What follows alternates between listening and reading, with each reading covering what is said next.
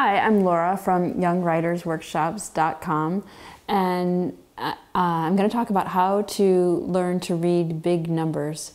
Um, the important thing in, in reading numbers is to think about place value. Um, so if you have 801, you know that the 8 is in the hundreds place, and that's how you know it's 800. And there's a 1 in the ones place, so it's 801. You read it um, putting each number in their place value.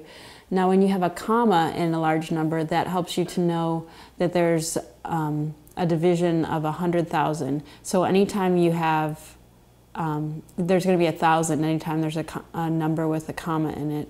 Um, so, for example, the number 800,000, 801, you know that there's an 8 it, you see a comma so you know that there's going to be a thousand and you see 800 on the other side of that comma so you have 800,000 and then whatever uh, numerals are in that next section after the comma will be the same as your hundreds, your tens, and your ones. Now again, um, another comma gives you a million. So any um, numbers on the left side of that second comma um, are going to be in the millions. So you might have 8 million and 800,000 and one.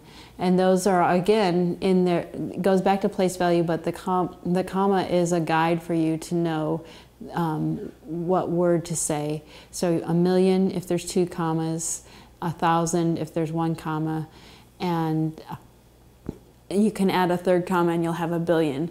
So no matter how many commas you add, you're going to have another word to say. Um, and you can practice this with um, saying the place value, getting comfortable with where the commas are and what, um, what word is associated with each number of commas.